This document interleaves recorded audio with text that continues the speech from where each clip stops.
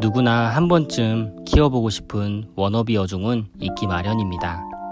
여러분들의 워너비 어종은 무엇인가요? 세상에 정말 이쁘고 아름다운 열대어가 많지만 예전부터 저의 워너비 어종은 바로 이 녀석이었습니다. 오늘은 제가 이 녀석을 분양받고 또 치어까지 받는 이야기를 들려드리도록 하겠습니다. 한 달 뒤 코코아 로즈 구피 여왕에 많은 변화가 일어났습니다.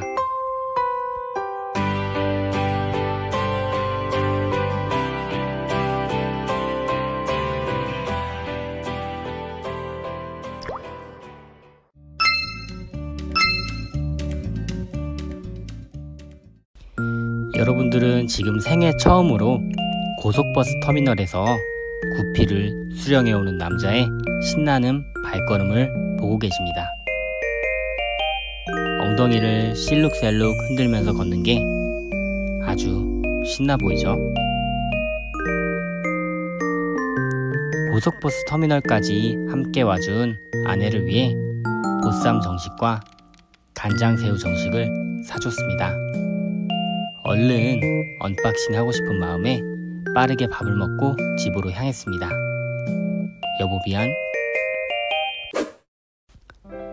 집에 도착해서 사장님께서 정성스럽게 포장해준 포장을 풀어봅니다. 과연 어떤 구피가 나올까요?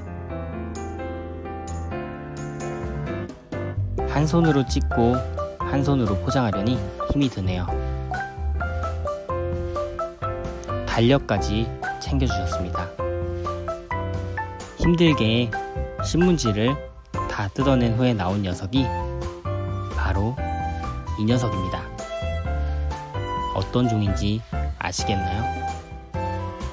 조금 더 쉬운 이해를 위해서 수컷을 한번 보여드리도록 하겠습니다. 눈치 빠른 분들은 아시겠지만, 네, 맞습니다. 바로 코코아 로즈 구피입니다. 생물 봉투 안에 있어서 그 모습이 잘 보이지는 않지만, 언뜻 언뜻 보기에도 너무 이쁘지 않나요? 암컷도 이쁘다는 생각이 들 정도로 굉장히 아름다운 색깔을 지니고 있는 녀석들입니다. 아이들의 안정적인 적응을 위해서 물맛댐을 해주고 있습니다. 제일 떨리면서도 긴장되고 행복한 순간이죠. 암컷이 아주 활발하게 움직이고 있습니다. 반면에 수컷은 움직임이 많이 있지는 않네요.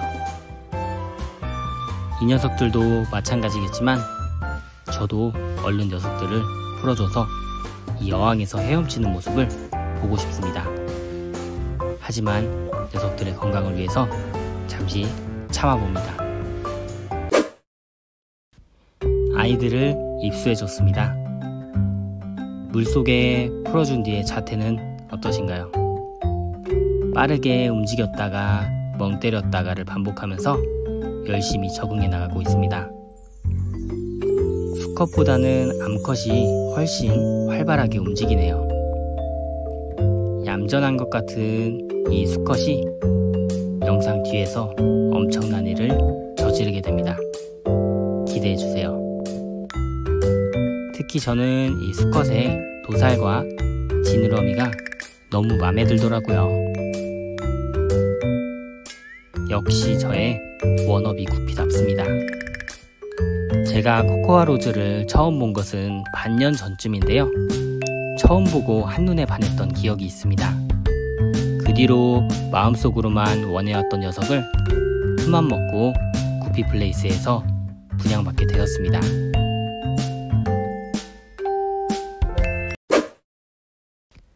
한 달 뒤 코코아 로즈 구피 어항에 많은 변화가 일어났습니다. 보시는 것처럼 코코아 로즈가 10마리의 치어를 낳았는데요. 먹이 효율을 극대화하기 위해서 brine shrimp 거름망에 2주간 키울 계획입니다. 이렇게 좁은 공간에서 키우면 치어들이 brine을 안 먹을래야 안 먹을 수가 없겠죠.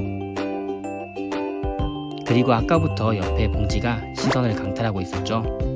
설마 하셨겠지만 맞습니다. 추가로 4마리 더 분양받았어요. 추가로 4마리나 분양받은 이유는 크게 두 가지인데요. 첫째는 코코아 로즈가 이렇게 빨리 번식할 줄 몰랐고요. 두 번째는 전문적으로 번식하며 키워보고 싶었기 때문입니다. 옆집 사는 그레이스킨 실버가 새 식구를 반겨주네요. 10마리의 새끼를 낳은 배가 빵빵한 엄마는 아이들의 브라인을 뺏어 먹느라 정신이 없습니다. 처음 왔을 때랑 비교하면 엄청 커지지 않았나요? 브라인을 하루 두 번에서 세 번씩 줬더니 이렇게 빵빵하게 커졌습니다. 번식도 아주 잘했고요. 추가로 데리고 온 4마리의 녀석들도 이렇게 brine과 사료를 아주 열심히 줘서 빵빵하게 키워볼 예정입니다. 제가 저희 자존심을 걸고 정말로 크고 이쁘고 아름답게 키워볼 테니까요. 여러분들 기대 많이 해주셨으면 좋겠습니다.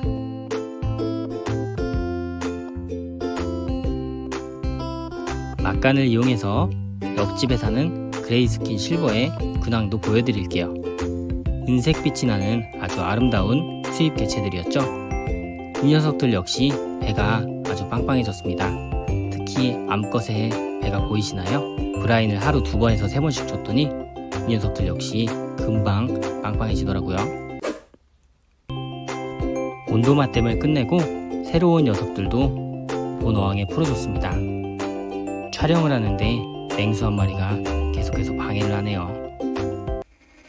현재 저희 집에는 방송사 섭외 알풀 한 종, 그리고 아까 보셨던 그레이스킨 실버 한 종, 그리고 HB 파스텔 구피, 루티노 모스코 블랙 이렇게 4종이 있는데요. 루티노 모스코 블랙은 얼마 전 구독자분에게 일괄로 분양을 해드려서 현재는 3종을 키우고 있습니다. 루티노 모스코 블랙의 빈자리를 이 녀석들이 채울 거예요. 혹시라도 궁금해 하시는 분들이 있을까봐 이 코코아 로즈를 키우는 환경을 말씀드리겠습니다. 25큐브 어항에서 키우고 있고요. 블랙 안시 두 마리와 노란색 안시 한 마리가 어항 청소를 담당해주고 있습니다. 환수는 매일 또는 2일에 한 번 30%씩 해주고 있고요. 그리고 브라인 시림프는 하루 두 번에서 세 번 정도 주고 있습니다.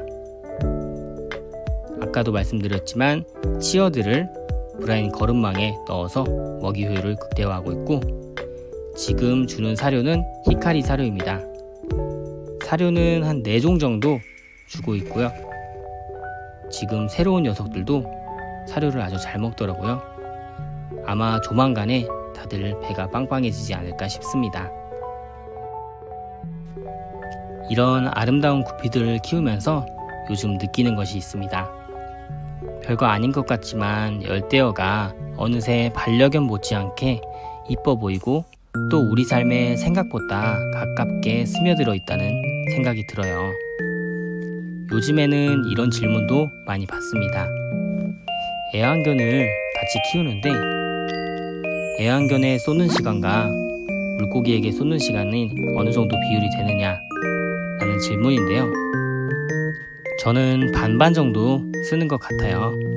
애완견은 함께 놀아주는 시간이 많은 것 같고요. 물고기들은 항상 관찰하고 환수해주고 먹이주는 시간이 많은 것 같습니다. 그 정도로 이제는 반려견과 반려어의 차이가 많이 나지 않는 그런 시대가 아닌가 싶습니다. 무언가 키우고 싶은데 공간이 마땅치 않다거나 여건이 좋지 않으신 분들이라면 저는 열대어를 한번 키워보는 걸 추천드리고 싶습니다. 자, 그럼 오늘 제가 준비한 영상은 여기까지입니다. 물먹 영상 보시면서 영상 여기서 마치도록 하겠습니다. 행복한 하루 되시고요. 원하세요. 물뽀!